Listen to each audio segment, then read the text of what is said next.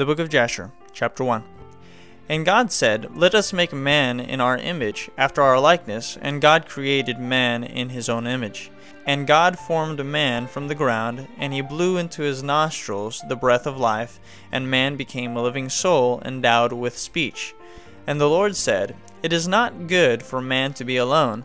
I will make unto him a helpmeet and the Lord caused a deep sleep to fall upon Adam, and he slept. And he took away one of his ribs, and he built flesh upon it, and formed it, and brought it to Adam. And Adam awoke from his sleep, and behold, a woman was standing before him. And he said, This is a bone of my bones, and it shall be called woman, for this has been taken from man. And Adam called her name Eve, for she was the mother of all living. And God blessed them and called their names Adam and Eve in the day that he created them. And the Lord God said, Be fruitful and multiply and fill the earth. And the Lord God took Adam and his wife, and he placed them in the Garden of Eden to dress it and to keep it. And he commanded them, and said unto them, From every tree of the garden you may eat, but from the tree of the knowledge of good and evil you shall not eat for in the day that you eat thereof, you shall surely die. And when God had blessed and commanded them, he went from them, and Adam and his wife dwelt in the garden according to the command which the Lord had commanded them. And the serpent, which God had created with them in the earth, came to them to incite them to transgress the command of God which he had commanded them. And the serpent enticed and persuaded the woman to eat from the tree of knowledge. And the woman hearkened to the voice of the serpent, and she transgressed the word of God, and took from the tree of the knowledge of good and evil, and she ate. And she took from it, and gave also to her husband, and he ate. And Adam and his wife transgressed the command of God which he commanded them, and God knew it, and his anger was kindled against them, and he cursed them. And the Lord God drove them that day from the Garden of Eden to till the ground from which they were taken, and they went and dwelt at the east of the Garden of Eden. And Adam knew his wife Eve, and she bore two sons and three daughters. And she called the name of the firstborn Cain, saying, I have obtained a man from the Lord. And the name of the other she called Abel, for she said, In vanity we came into the earth, and in vanity we shall be taken from it. And the boys grew up, and their father gave them a possession in the land. And Cain was a tiller of the ground, and Abel a keeper of sheep. And it was at the expiration of a few years that they brought an approximating offering to the Lord. And Cain brought from the fruit of the ground, and Abel brought from the firstlings of his flock from the fat thereof. And God turned and inclined to Abel and his offering, and a fire came down from the Lord from heaven and consumed it. And unto Cain and his offering the Lord did not turn, and he did not incline to it for he had brought from the inferior fruit of the ground before the Lord, and Cain was jealous against his brother Abel on account of this, and he sought a pretext to slay him. And in some time after, Cain and Abel his brother went one day into the field to do their work, and they were both in the field. Cain tilling and plowing his ground, and Abel feeding his flock. And the flock passed that part which Cain had plowed in the ground, and it sorely grieved Cain on this account.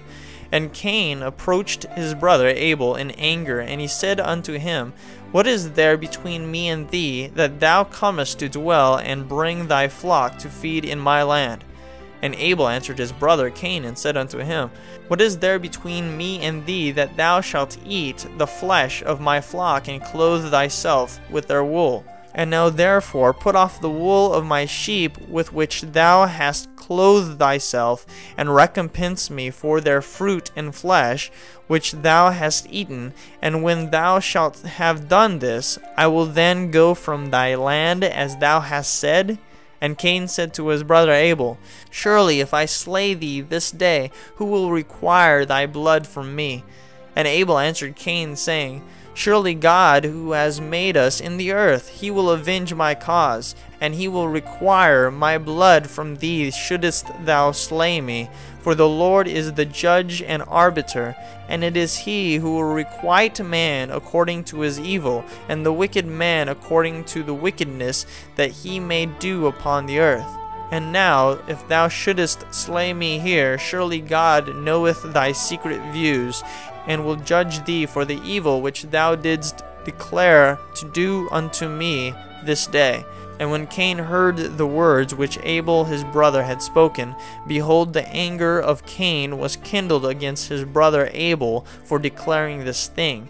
And Cain hastened and rose up and took the iron part of his plowing instrument, with which he suddenly smote his brother, and he slew him. And Cain spilt the blood of his brother Abel upon the earth, and the blood of Abel streamed upon the earth before the flock. And after this Cain repented having slain his brother, and he was sadly grieved, and he wept over him, and it vexed him exceedingly. And Cain rose up and dug a hole in the field wherein he put his brother's body, and he turned the dust over it. And the Lord knew what Cain had done to his brother. And the Lord appeared to Cain, and said unto him, Where is Abel thy brother that was with thee? And Cain dissembled, and said, I do not know. Am I my brother's keeper? And the Lord said unto him, What hast thou done? The voice of thy brother's blood crieth unto me from the ground where thou hast slain him.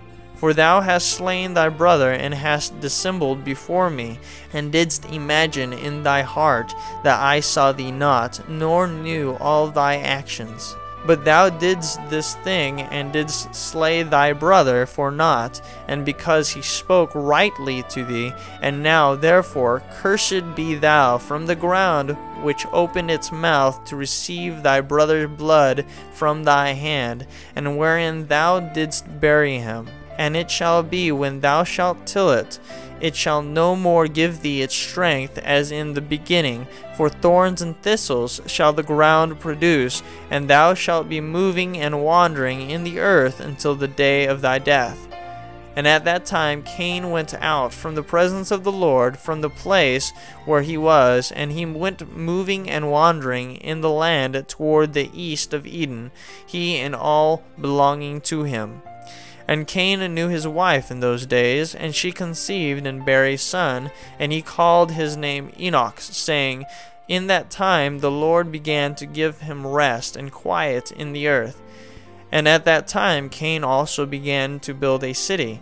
And he built the city, and he called the name of the city Enoch, according to the name of his son, for in those days the Lord had given him rest upon the earth, and he did not move about and wander as in the beginning. And Irad was born to Enoch. And Irad begat Mechuyael, and Mechuyael begat Methusael.